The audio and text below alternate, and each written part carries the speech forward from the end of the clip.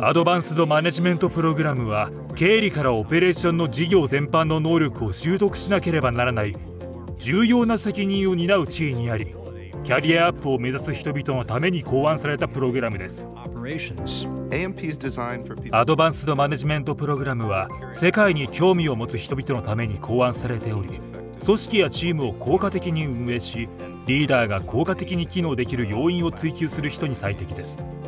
授業中の活動と個人的な深いつながりと参加者の能力を試す演習を組み合わせてさまざまな難題を解き明かします。アドバンスドマネジメントプログラムはリーダーシップを発揮する術を習得する研究と思考に根ざしています。参加者には新たな学習内容のレビューだけでなく学習した内容の応用と思考が要求されます。体験活動はかなり挑発的なものも含まれその場面で取り組むストーリーを提供し例示します。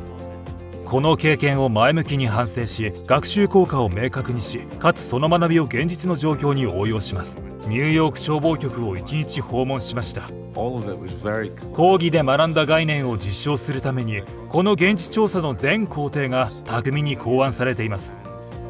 この1日だけで消防士になれるわけではありませんが自分の技量を拡充するためにリーダーシップやチームワークと支援体制について何かを学び振り返る機会となります。素晴らしい体験です。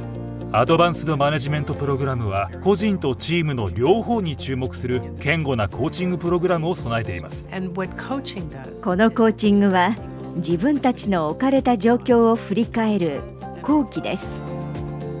鋭い洞察力を持つ優秀なコーチが直感的に幅広いサポートを提供します。